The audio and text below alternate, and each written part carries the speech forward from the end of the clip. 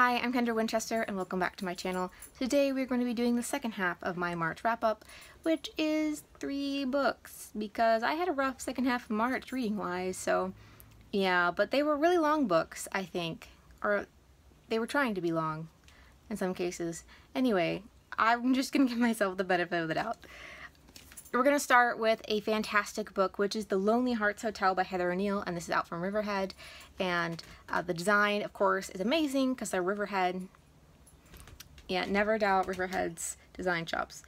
Uh, the Lonely Hearts Hotel is about Rose and Pierrot. They grow up as orphans in this um, orphanage in Montreal during the Great Depression, and they fall in love and are separated. So the entire book, I guess, oversimplified, is them trying to find each other. So I'm going to try to do this without any spoilers because this book is so magical. Like I don't think any real magic per se happens in this book, but there's definitely a lot of magical feel, like really subtle magical realism. And somehow with her style and her storytelling and her structure, she really invokes the fairy tale esque feel. And so if you love fairy tales, you will definitely love this book because it just it just feels magical. Like some stuff happens and it's over the top, but you believe it because Heather O'Neill is that good. I will say, just fair warning, there are a lot of trigger warnings in this book, so just be prepared as you, you know, meander through it that stuff happens. But it is quite good. Just, yeah, I really love this book, and I can't wait to talk to her uh, later this month for the Reading Women podcast, so that will be fun, and I can talk to her about all of her hotels, which she named after love symbols and stuff, which is cool. Next up is uh, The of Kings by C.E. Morgan, and this is definitely like, you almost have to hold this thing with two hands as like I'm trying to show it to you, uh, because it's definitely a chunkster. It's not exactly Versailles Shakespeare, but it's trying to be. Maybe that's what it wants to be when it grows up. But this is a, a book that was shortlisted for the uh, Bailey's Prize, which was announced, that was announced yesterday, which is really exciting. This book is really just amazing. There's so much going on in this book, and I feel like I'll only be like talking about the tip of the iceberg with just how many layers of meaning are in this book. Yeah, there's no way to describe it, so I'm just to go for it and just watch a bunch of videos about this book, and maybe that way it'll give you a more well-rounded feel. Um, this book, yeah, it is intimidating, but it's split into six sections, like six acts or um, novelettes or something, and it just moves through time that way. And uh, there's interludes that sometimes connect back to other interludes, but you can tell where she was going with the theme. And so this book is about the Forge family uh, who live in, I think, around Paris, Kentucky. And you can see this um, map that they conveniently put on there. My parents live um, in northern Kentucky. And so I sent her a picture of the end papers and I was like, Mom, look, they included a map because, you know, Kentucky, northern Kentucky's in the middle of nowhere. It's like this magical land, like Middle Earth. And she just died because, yeah, it does need a map. Middle of nowhere. But this is a proper, like, southern family, plantation family. They have, like, the Tennessee Walkers and everything. And Henry is born and his dad is basically a jerk and so because Henry wants to turn the entire plantation into a horse farm and his dad's like no and whatever. So eventually when his dad dies Henry does turn it into a horse farm and he's looking for the perfect horse which he believes can happen and so there's a lot about breeding theory and just horses in general which is really fascinating. I used to work with foals and yearlings so I really loved seeing like you know all the descriptions of training and foals and just how that worked, which was really interesting. And there's also Henrietta, who is Henry's daughter. Narcissistic much? I think so. Naming your daughter, The feminine version of your own name. Yeah, she works with her dad as like the farm manager, and then there's also Allmon, who's a groom. And one of the sections is about Allmon's childhood, and that is set in Cincinnati. And Allmon is a half white, half black kid growing up um, with a single mom because his dad like left and started a new family because he's a jerk. And I really loved how the parallels of the two families and the way Henry Henry and Henry, Henrietta that is really hard to say. Henry and Henrietta both grew up in like the lap of luxury and heritage and then Allmon didn't even know his heritage because his dad ran off and he just didn't know much about it. And so it really has the parallel families and what does it mean to know your heritage and what is heritage. And there's a lot of like um, play on evolutionary theory themes and things like that.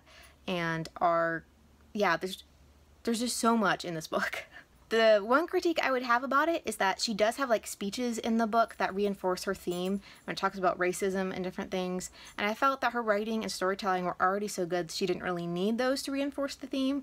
Sort of like how at the end of The Goldfinch you have like this giant speech where Donna Tartt basically like hits you in the head with a baseball bat about, you know, what her book's about. And I felt that C.E. Morgan did that in a little uh, minor way, or maybe like instead of one place, it was throughout the book there were speeches. So I felt that she could made those shorter or cut them or something. I thought it was a little too long in those places and it was like talking heads kind of deal and she was already so good. She didn't really need them, you know? It also just I get this isn't what the book's about, but for me personally, I really appreciated the representation of severe autoimmune disease in this book. Um, I also have a severe autoimmune disease, much like the one that Allmon's mother has. And I don't talk about it a lot online just for privacy reasons, and I probably won't in the future, but I really appreciated how the representation was because honestly, I don't really see any autoimmune disease, let alone the really severe ones, in literature. And having that representation just made me feel like maybe someone would read this and then finally understand because autoimmune diseases, like it talks about in the book, how um, she's a single mom and it talks about how she falls through the gaps in the assistance system um, in the United States and how that basically um, she goes finally goes to a specialist after a long whatever um, because her hands are hurting and she just feels really badly all the time. And he says you know what? I can't give you a diagnosis. Like we can't cure this. You definitely have an autoimmune disease but we can't cure this so I can't diagnose you, but we can help control your systems. But she's like, I don't have insurance and I can't get disability if I don't have a diagnosis. And he's like, well, you probably couldn't get it anyway because not many people recognize autoimmune diseases like this. And that really is how it is. You know, uh, there's not much known about them and it describes her symptoms. And there's a beautiful section um, where I just had to put the book down about how uh, she felt like pain in different parts of her body was slowly taking away what made her human, what made herself, until all that was left was pain and she was no longer the person that she used to be. And that really is what it's like to have a severe autoimmune disease. It was really difficult for me to read, but I think it's very important that people have a frame of reference for severe autoimmune diseases. So, you know, most people know what cancer is, but not many people really know what autoimmune disease is, period, let alone all the different kinds and the different severities and things. So I am very happy with this and I'm super excited that it was shortlisted so more people read about it. Yeah, so I was really impressed with that even though that isn't necessarily a huge part of the book. It's the part I connected to most personally and it was really, yeah, it was really moving just on top of everything else that she was doing. As a side note, the prologue about this of this book, I have no idea what was going on and I've heard some people really kind of confused and are unsure about what it is, and I don't know what it is either. So if you know anything about the prologue or have opinions about it or any helpful information, please let me know either in the comments or send me a message on Twitter or something uh, so that we can talk about it because I have no idea what's going on. Yeah, that is The Sport of Kings, a very long review for a very long book, um, but it's definitely worth you taking a look at. My hand is dying, in case you're wondering, holding that book so long. So now we're going to talk about another book, but thankfully much lighter, so my hand will not die. Um, this is Difficult Women by Roxane Gay, and this is her short, short story collection. And it is basically a love letter to all the amazing, strong women out there. Uh, it's about difficult women, either women who society considers difficult or stubborn, or women who have faced difficult situations. I read Roxane Gay's essay collection and loved Bad Feminist because it allows for an imperfect feminism. Basically, you can't do everything. Do what you can. You're to screw up, but get back up and make a difference in your corner of the world. And I really love that. And she does take a little bit of that like into this book, but it's primarily about women and how amazing women are, basically, how strong they are, and how society tends to think that they're much weaker, you know, you know, the whole weaker sex thing. Yeah. Roxane Gay just blew out that out of the water. She also shows an astounding range of versatility and sci-fi and fantasy and just everything is in this book and I never read as I said her fiction before and I was really impressed with it um, I can't wait to read more of her fiction. Um, I haven't read The Untamed State because of all the trigger warnings. I might try it and see what I can do. Um, this also has all of the trigger warnings just fair warning. I felt like she did not over describe because I was worried from what I'd read that I might need to put it down, but I felt like she said what happened, but she didn't go in so much detail that you couldn't handle it, and it still was super moving and effective. And yeah, I love this book. I can't wait to read her memoir that's coming out this summer. I hope I can go see her and get it signed and then like, you know, worship at the altar of Roxane Gay or something. Like, oh my goodness. She is just so wonderful and also so wonderful on Twitter. Yeah, I think I've mentioned this before, but she like live tweets stuff. So she'll be watching television or the Super Bowl or, you know, debates or whatever, and she's really funny. So you'll definitely want to go check out her live commentary because, yeah, it's Roxane Gay. And my hand is still dying. Thank you, Sport of Kings. So the last book I want to talk about actually is a book that I forgot to talk about last time, so I'm just going to put it in this one, and that is, I think it's Big Happy Mushy Lump.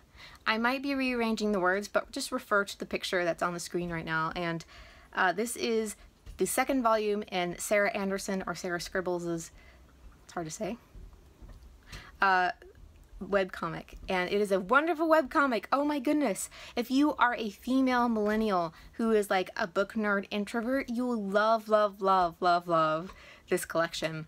Uh, she has everything, everything. And uh, she has all kinds of book comics. She has all just everything, everything you could want as an introvert and they're just all so funny and she does an amazing job and she has like this cartoon uterus is probably one of my favorites because she has all of these like period jokes in comics about what it's like to be a woman.